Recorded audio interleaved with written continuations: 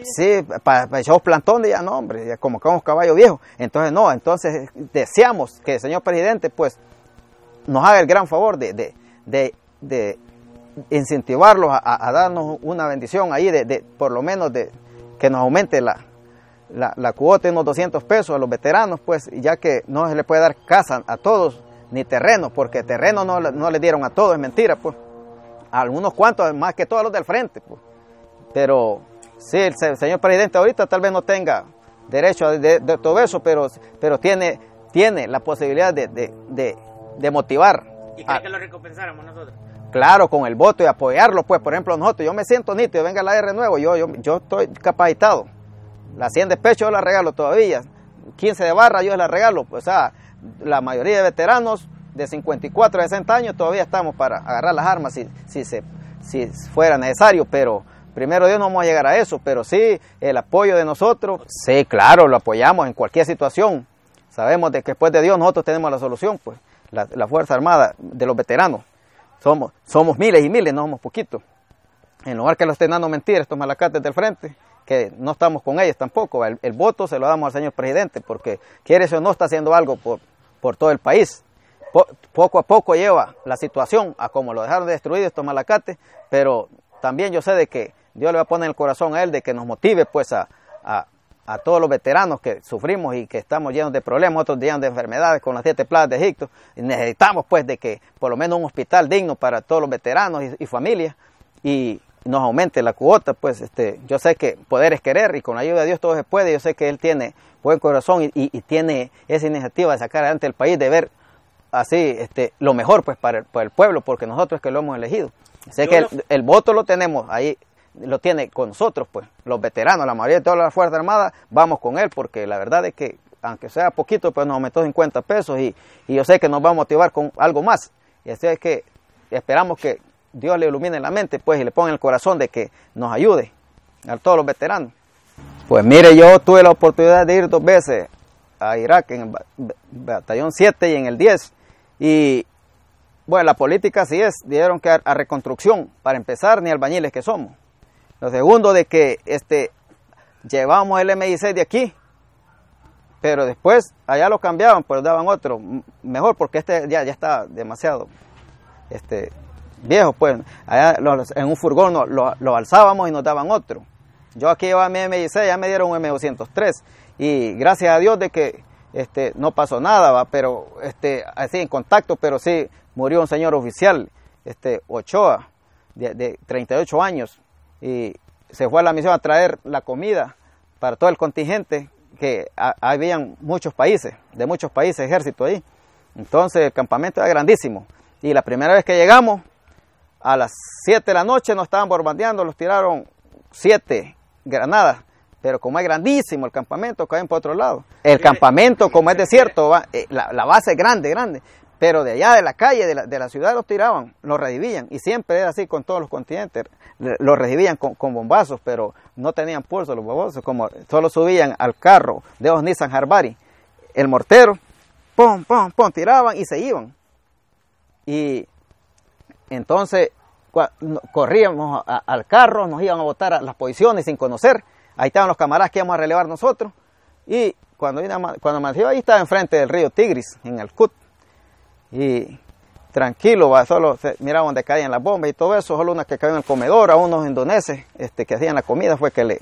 Ah, este, mi, capitán Ochoa fue de que este, ya venían de regreso como con siete vehículos de horreo grandes, con comida, para todo el campamento, y, y él que ya dijo, va, a ser que le den a este carro, entonces cambió a uno que había ido dos veces a Irak, a Chiqui, que era el comando especial, se da vueltas de gato en el aire, chero, era bueno. Y, y ese, este mi capitán dijo, bueno, dijo, este, venite vos, chiquile. Y, y, a él no le convenía ir, no lo querían mandar porque era de transmisiones. Y, y, y fue a la misión él.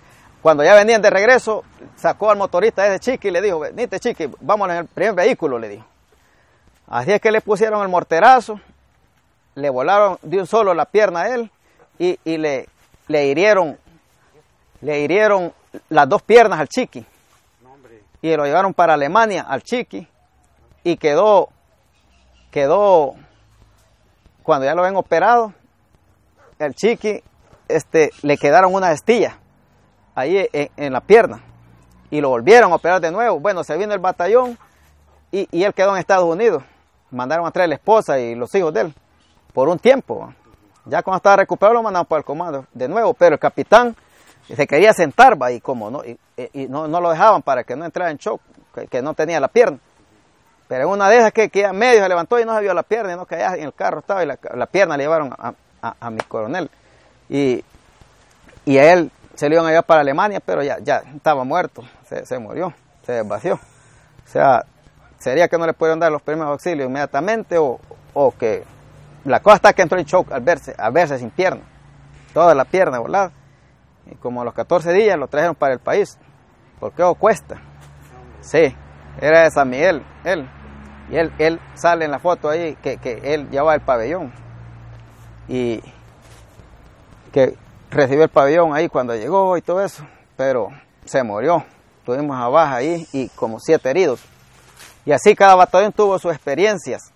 Entonces, no es que éramos albañiles, de allí se iba a traer comida, solo, se andaba solo más de 100, porque este, el, el, el a, veces ponían unos volados que leían ID, que eran cabras muertas o, burros muertos, le sacaban todo de adentro y lo llenaban de explosivos, lo dejaban de espalda y con control lo explotaban a los carros.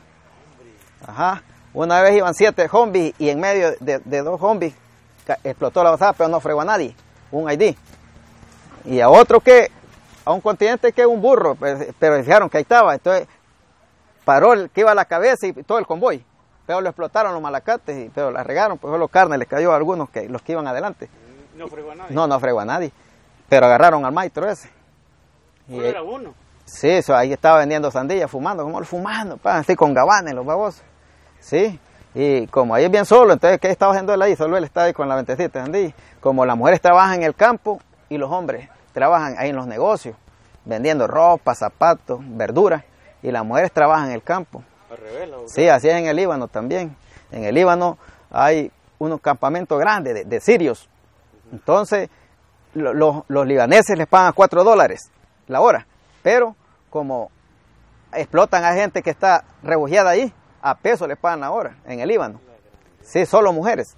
A veces ponen los niños ahí y, y dejan a, a, sembrar chile verde, este, sandillas, cortando sandillas, sembrando tomate. Trabajan 4 o 8 horas. Ahí los pagan en un furgoncito a traer a las mujeres. Entonces en Irak así es. Habían como 14 este, de estos babosos que, que, que hablan español, uh -huh. traductores. traductores. Ajá, y habían dos que eran gay. Ya la segunda vez que llegué yo ya, ya le habían dado vuelta a los dos porque le habían puesto el dedo que iba a tropa y, y fregaron a un sargento de, de, de, la Armada del Estados Unidos y a un, a un iraquí que era traductor. Casi le bajaron el brazo. Entonces a los mataron, a los bobos. Ah. Los americanos los mataron a los dos iraquíes que eran gay. Eran gay. Sí, entonces eh, andaban uniformados pero pagan en oficina. Pero, sí, pero hablaban español. Y había unos que leían Tony Saca porque igualito Tony Saca, pero no era gay. Bueno, soy tu presidente, le decía uno cuando uno llegaba. Ah, Ajá, cuando uno, nosotros llegamos en notilla y así le han puesto aquí el porta Tony Saca le han puesto aquí. Le han puesto. Sí, los malacates de aquí, como las posiciones de Chalate, San Salvador, así.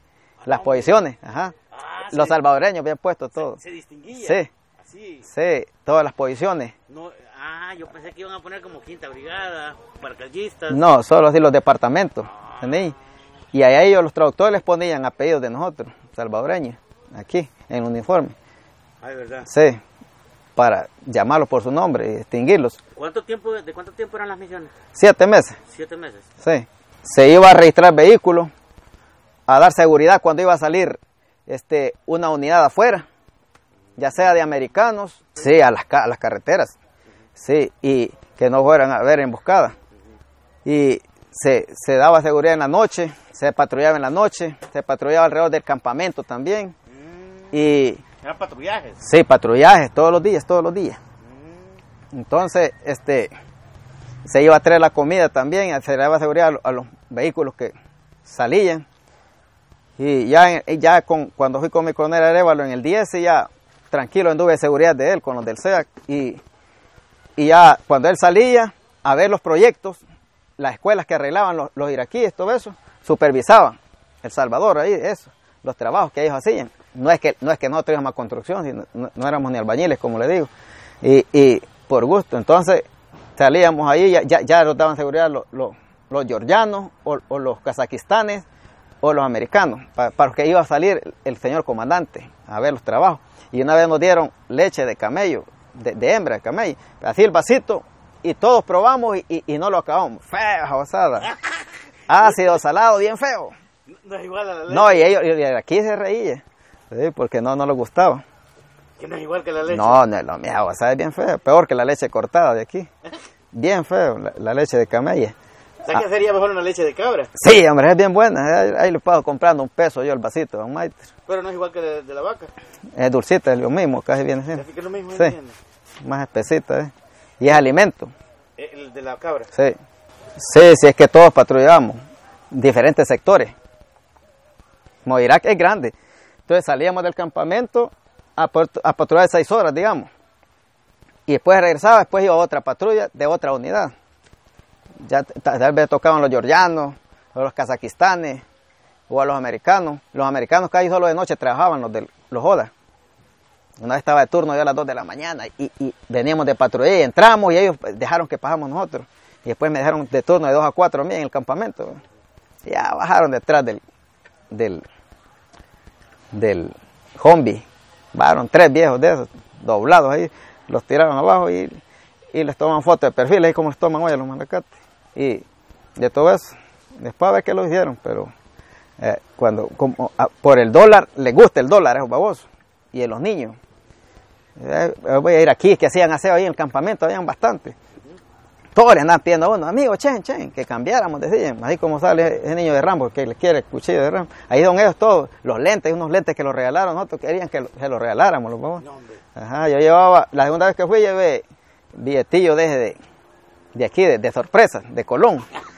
Y, y a unos mongoles me los bajé, mío, Chen, Mona y Salvador. Y, y traje unos billetillos de allá, después mío, mío, eh, andaban buscando, ¿y quién?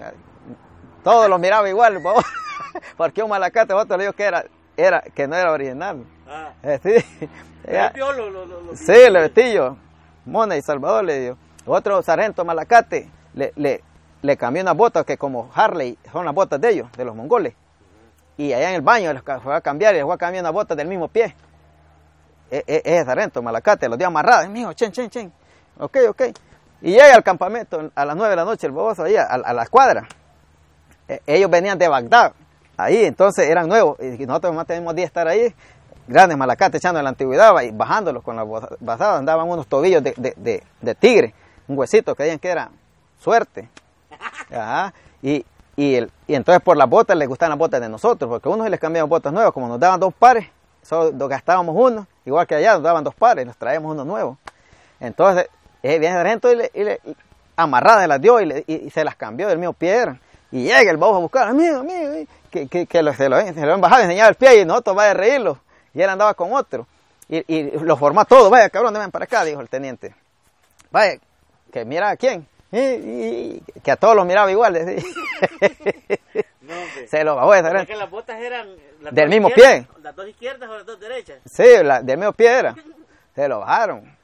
Hijo de madre. Pero se, se- se eran malacates porque un sargento de ellos, también yo llevé de, de, de allá. Sí, de eso, de esos mongoles. Ajá. Yo llevé, este, llevé de esos relojes, de unos que son a 7 pesos. Y llevé 5 y, y, y los vendí, a, a- dos de ellos los vendí a 15 y, y a un comando de, de, de gotera yo se lo había cambiado por los lentes. De ahí, se, se lo, otro que le vendí a un motorista. Anduvo en tres e- e- ese, ese reloj.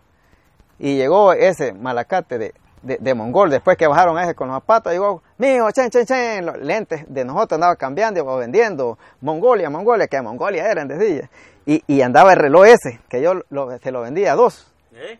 Y, y después que fue a caer con, con, con ese, eran tres. ¿sí? Y decía que era de Mongolia el reloj. Y viene eh, eh, un babo de gotera y le dice, eh, te compro estos 10 dólares. Le digo, ah, ok, mi, ok, mi. 10 dólares. Estaba pasmado, decía, o sea, yo se la vendí. Le dije,